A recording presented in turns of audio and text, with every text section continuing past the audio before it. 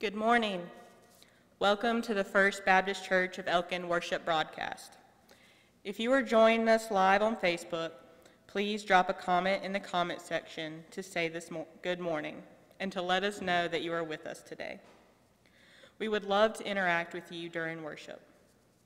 We would also like to extend a warm welcome to those who are listening via radio this morning. If this is your first time worshiping with us, we extend a warm welcome to you. We would love to know who is with us this morning, so please feel free to say that this is your first time in the comments, and our church family will greet you with the same warmth and kindness that they would if you were right here in the building. And as always, if you have a prayer need or a physical need, don't hesitate to reach out and make us aware of those people and situations as they arise. We have a guest speaker this morning, Reverend Rebecca Maynard. Over the years, Rebecca has helped us grow spiritually, and we are glad to have her with us today. This morning, we share the peace and love of Christ with each of you. And at this time, we invite you to share the peace of Christ with those around your screen today or with your online neighbors. Again, we are so thankful we get to be together virtually this morning. Welcome to worship.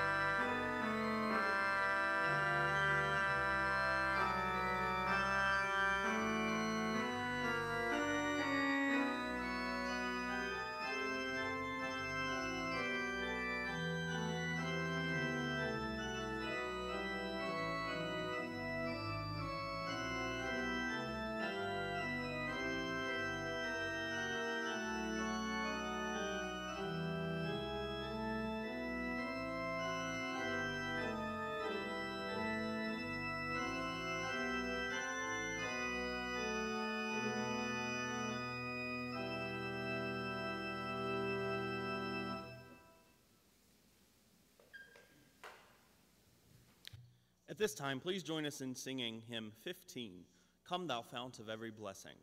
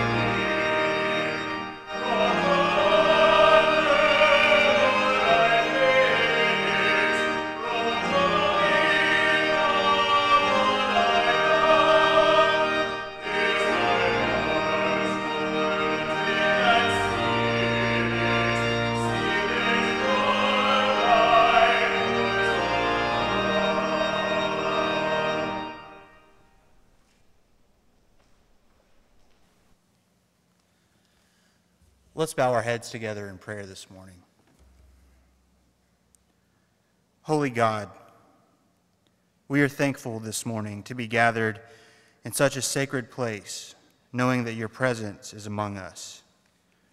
We praise you for the blessing of your goodness and faithfulness through the past few months that have been so difficult, not only for our church, but for the entire world.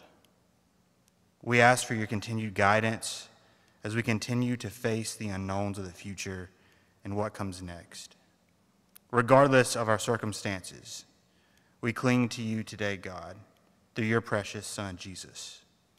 We recognize that God's house, the place that is truly sacred, is the residence that you take up in each of us through the power of the Holy Spirit.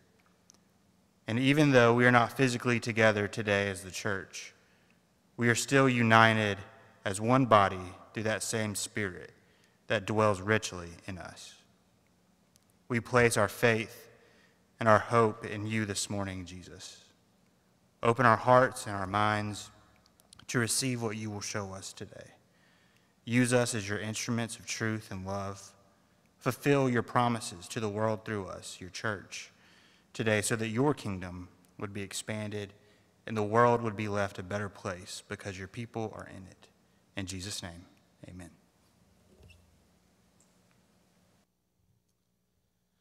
Now let us sing hymn 465 I Want Jesus to Walk with Me.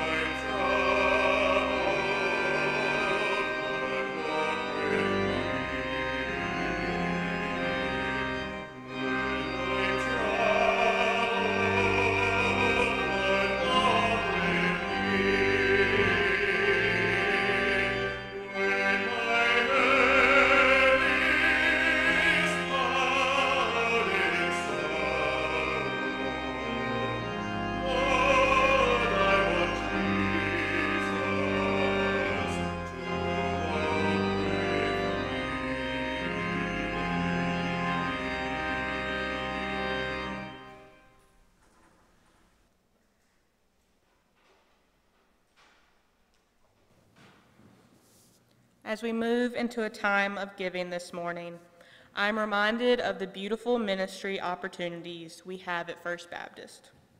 From the church garden to working with Tri C and Grace Clinic, our growing youth and children's ministries, we have many opportunities for spiritual growth. On July 11th, we hosted a creation camp for children. We had 11 children attend and learn how to worship God through art. Your generosity made this possible. God continues to be faithful to our church so that we can do ministry and serve our community. And one of the ways that God is faithful is by blessing this congregation with the ability to be generous.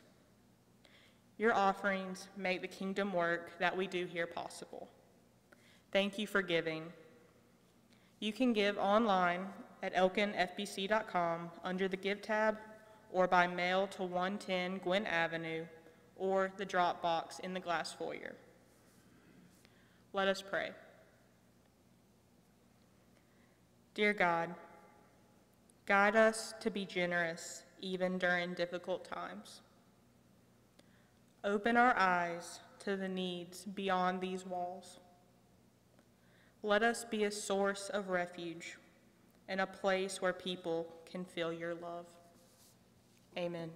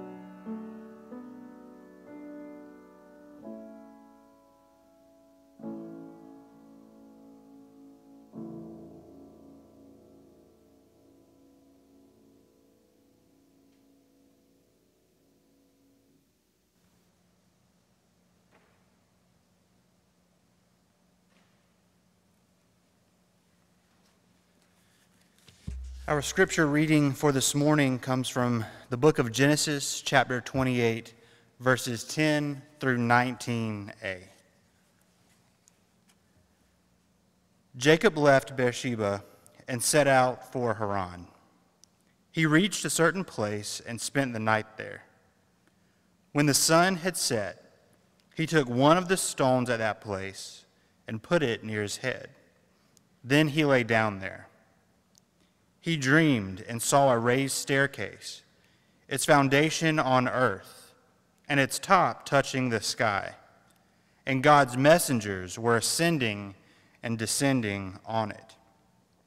Suddenly, the Lord was standing on it and saying, I am the Lord, the God of your father Abraham and the God of Isaac. I will give you and your descendants the land on which you are lying. Your descendants will become like the dust of the earth. You will spread out to the west, east, north, and south. Every family of earth will be blessed because of you and your descendants. I am with you now. I will protect you everywhere you go, and I will bring you back to this land. I will not leave you until I have done everything that I have promised you. When Jacob woke from his sleep, he thought to himself, The Lord is definitely in this place, but I didn't know it. He was terrified and thought, This sacred place is awesome. It's none other than God's house and the entrance to heaven. After Jacob got up early in the morning, he took the stone that he had put near his head, set it up as a sacred pillar, and poured oil on the top of it. And he named that sacred place Bethel. These words are the gift of God. Thanks be to God.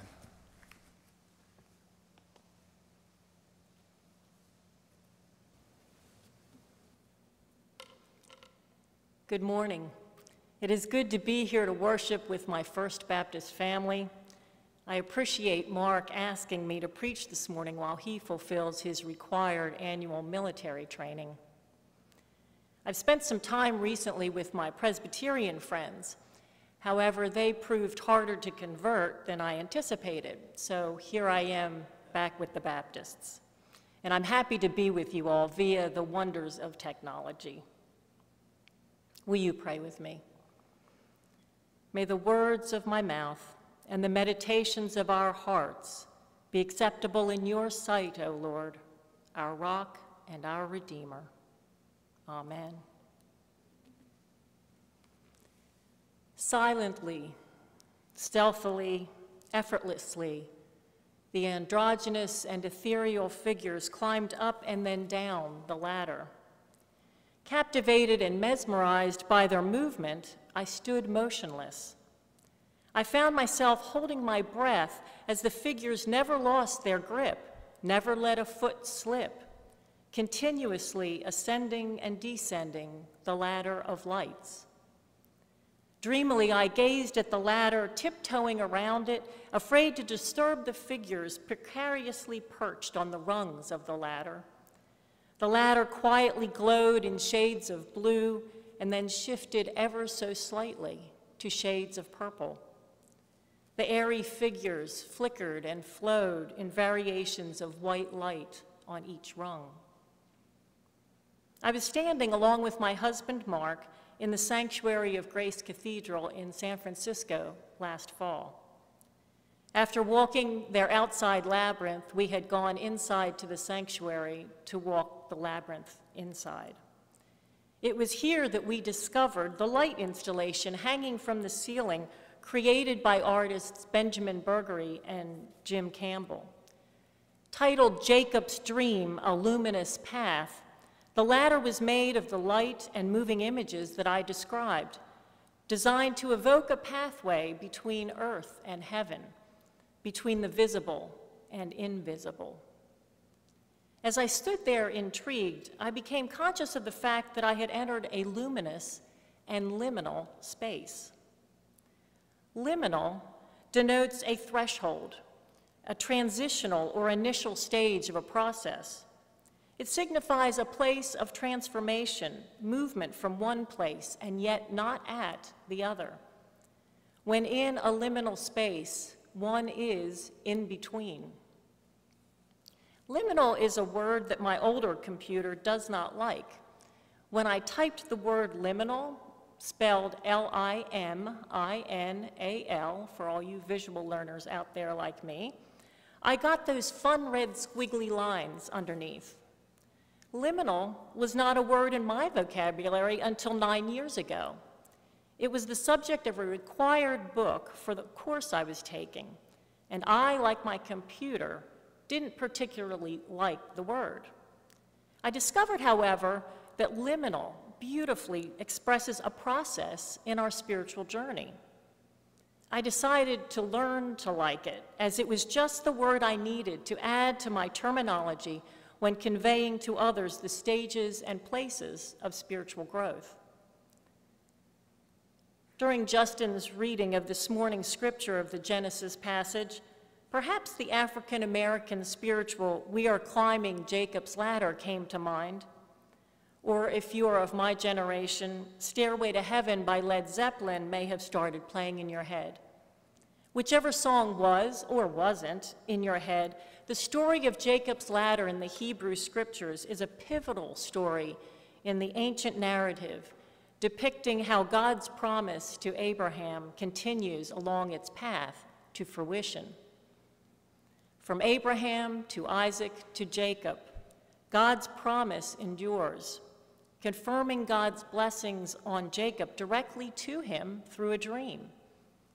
God promises to Abraham's grandson Jacob a specific land, that his descendants will be like the dust, abundant and covering the land, and that many others will be blessed through him, much like what he promised Abraham.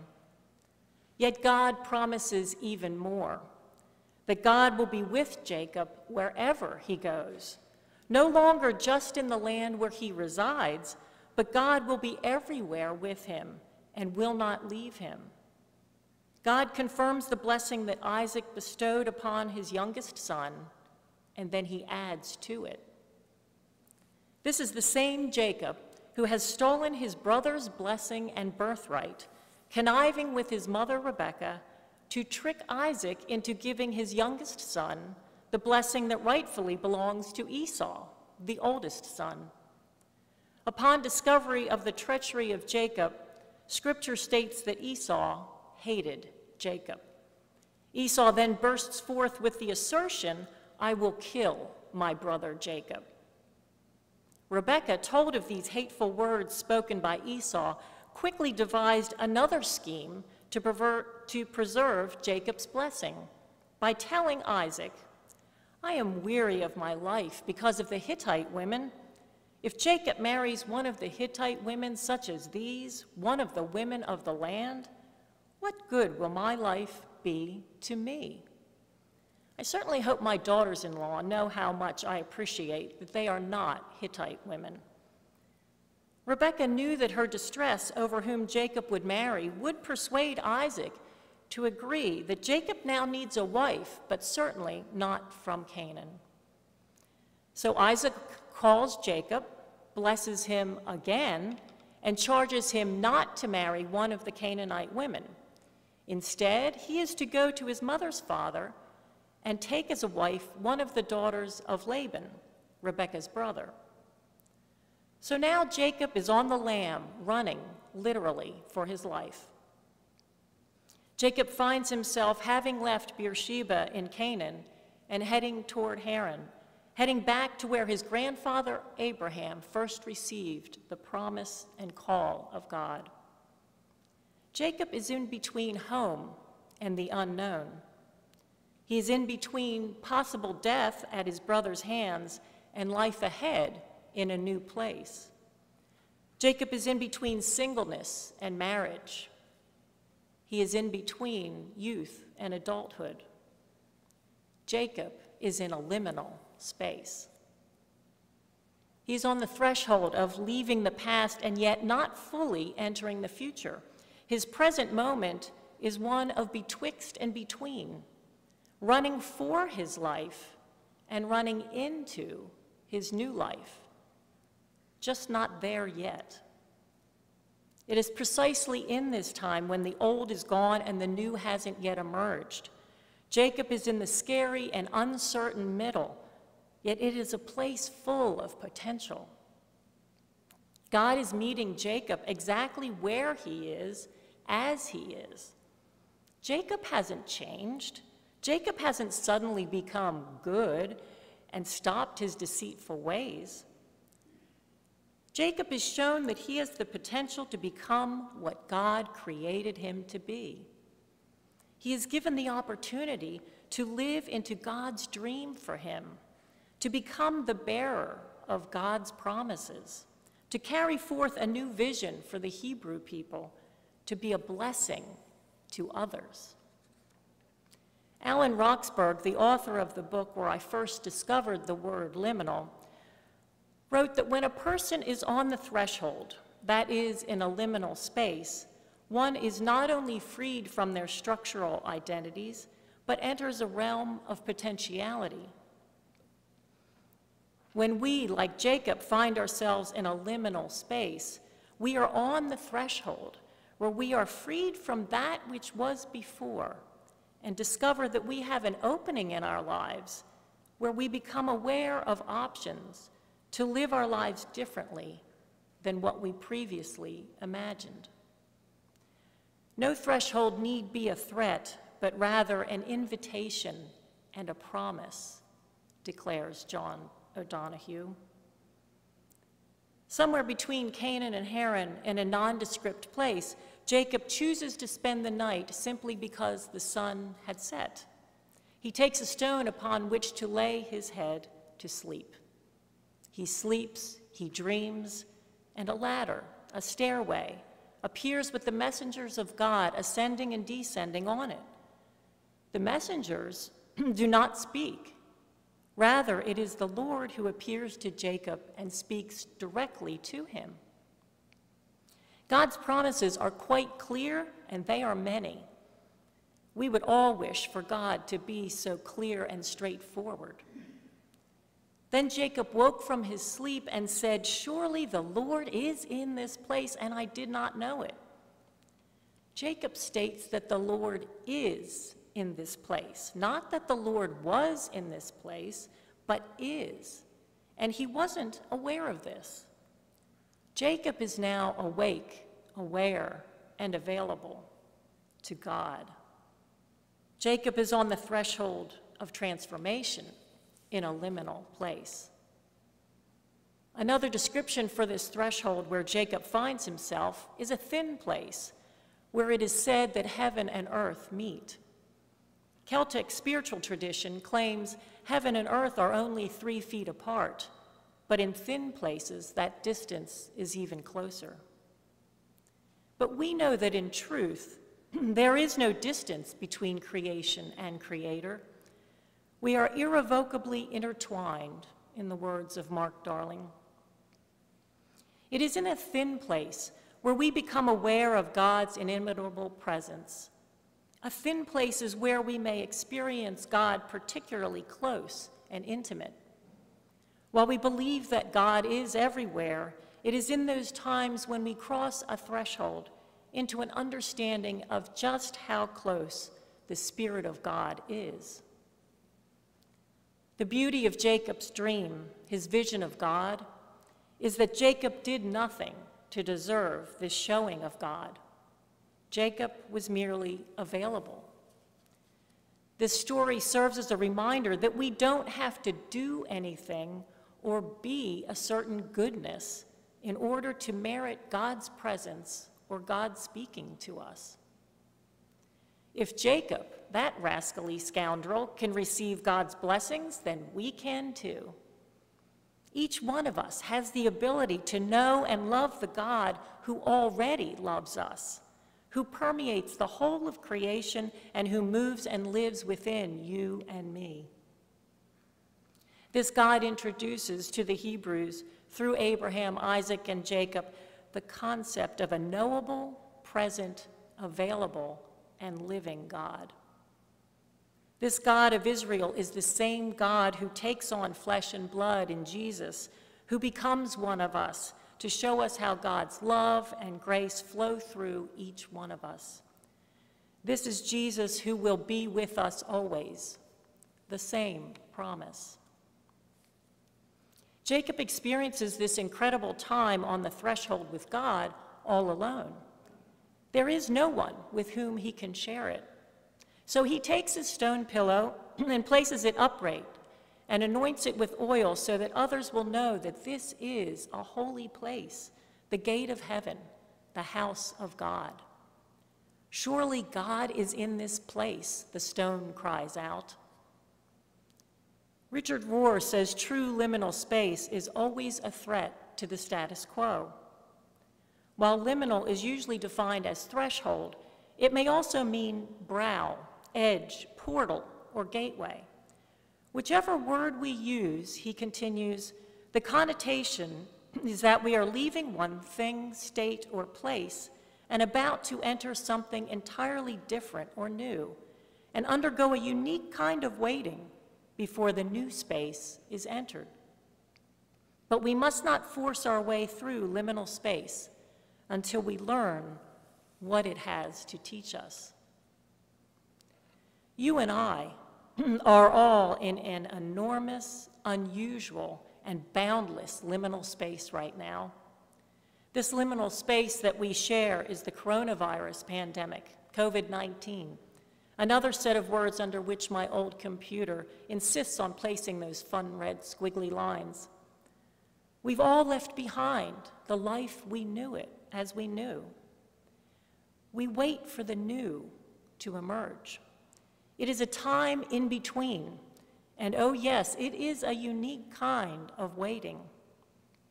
Right now, our liminal space is a threshold of untold discomfort and fatigue plagued literally with sickness and death in this dream, this nightmare of reality.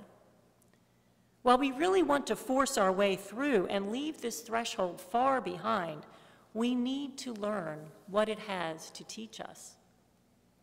It is in this time and place of liminality that we may sense a vision, one that encourages us to step from the threshold into a new life, a new way of being, a way of seeing with new eyes, God's eyes. A liminal time allows for a vision to unfold. It is often a challenge to cross a threshold and demands courage as we discern God's call. It involves trusting whatever emerges and trusting God to be in this place. We are learning on this threshold of COVID that we are globally connected in ways we never imagined. We now see firsthand what one of us does or doesn't do affects another. And yes, it may even kill someone. The virus connects us and hopefully reminds us to care for our neighbor, bringing out our love and kindness to unite us. Another reality that also occupies our COVID liminal space involves economics. Yes, we are in this together, but as we have heard and know, we are all in different boats. Some boats resemble yachts, some motor boats, and others are dinghies. Some of us have lost jobs that won't come back. Some of us have lost our income due to illness or reduced hours or a business folding. Some of us must work despite the risks. We are in this together, but how do we respond when someone's boat springs a leak or they lose their oars or their motor? Will we charter a ferry and help others less fortunate? Time spent on the threshold will hopefully allow us to see and hear the Spirit of God moving us to take action in love.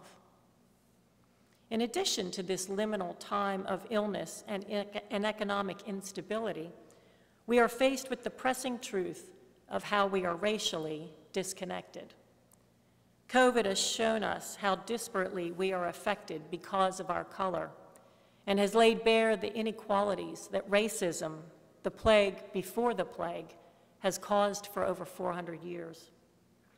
While we are working at an astonishingly rapid pace to come up with a vaccine for COVID 19, it is not so easy or swift to develop immunization to the plague of racism, or to even begin to comprehend the depths and tentacles of infection which racism has caused. Spurred on by the murder of George Floyd and numerous others, we stand here on the threshold where we may examine our own unacknowledged racism and lean into a new life, to step forward to respond to God's call to work for racial equity. Martin Luther King Jr. said, An individual has not started living until they can rise above the narrow confines of their individualistic concerns to the broader concerns of all humanity. What each of us does to combat racism needs to be understood individually and communally. May you and I, through transformed lives, infect others with the change we wish to see in the world, to put a spin on the words of Mahatma Gandhi. So, how will you and I do that?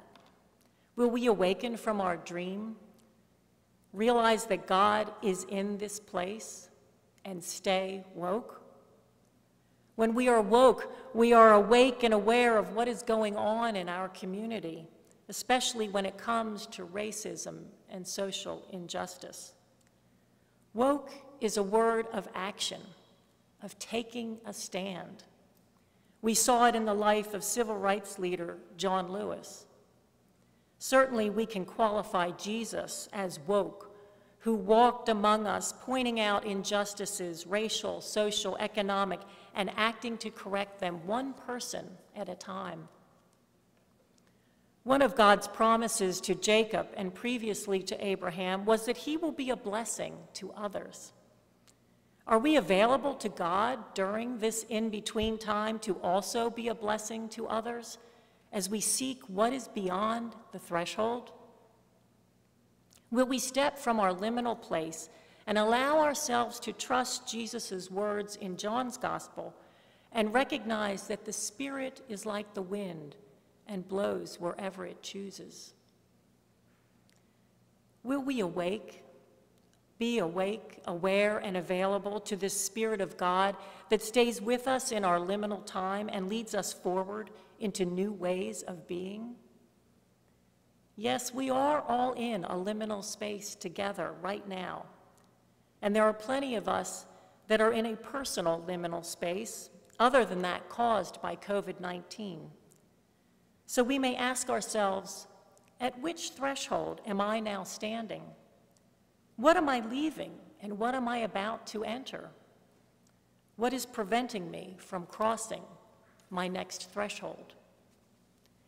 Jacob's excitement at the threshold led him to exclaim, Surely God is in this place, and I did not know it. Will our threshold lead us to proclaim the same that God is here now and always will be? That God is present in every moment, no matter how mundane? That bidden or not bidden, God is present. Where are you stacking stones of blessings and grace? Where is God meeting you on the threshold, calling you forth with an invitation and a promise into God's dream for your life to be a blessing to others?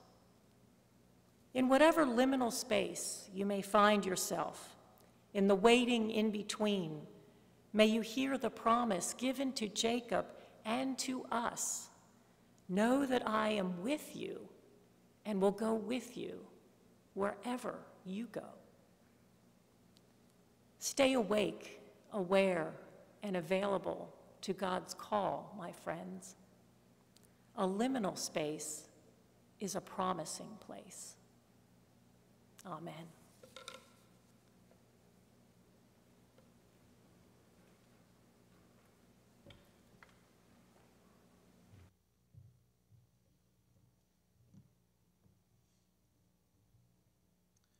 Please join us now in singing our hymn of invitation, hymn 60, Be Thou My Vision.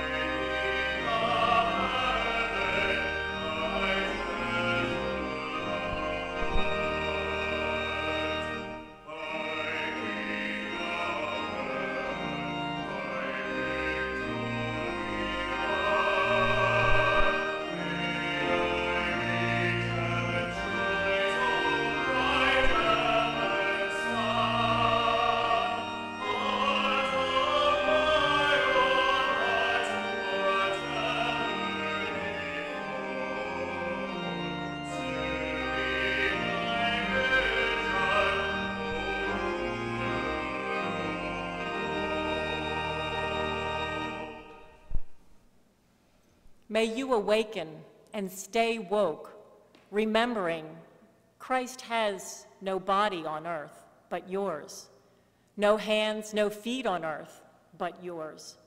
Yours are the eyes with which Christ looks with compassion on the world. Yours are the feet with which he walks about doing good. Yours are the hands with which he blesses all the world. Christ has no body now on earth but yours. May you go in peace, and may the peace of God go with you. Amen.